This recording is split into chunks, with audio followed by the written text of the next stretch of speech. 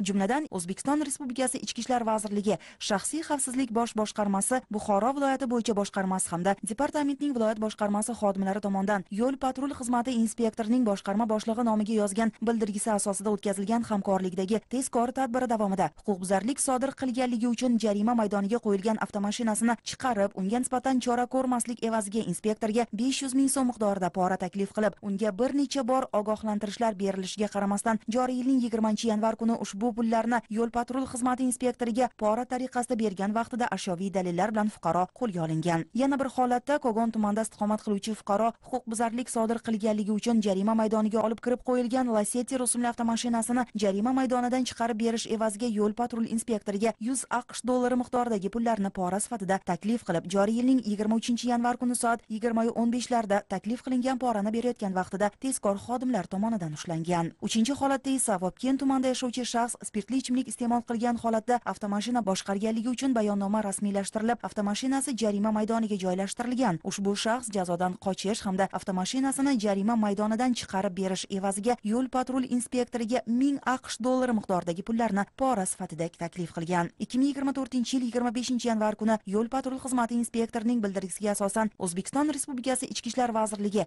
shaxsiy xavfsizlik bosh boshqarmasi buxoro viloyati bo'yicha boshqarmasi va departamentning peshku tumani bo'limi xodimlari hamkorligida o'tkazilgan tezkor tadbir davomida ushbu fuqaro pullarni berayotgan vaqtida ushlangan. Mazkur holatlar yuzasidan o'zbekiston respublikasi jinoyat kodeksining ikki yuz o'n birinchi moddasining tegishli bandlari bilan jinoyat ishi qo'zg'atilib hozirgi kunda dastlabki tergov harakatlari olib borilmoqda. Bu kun zilola do'qulova abbos nabiyev buxoro.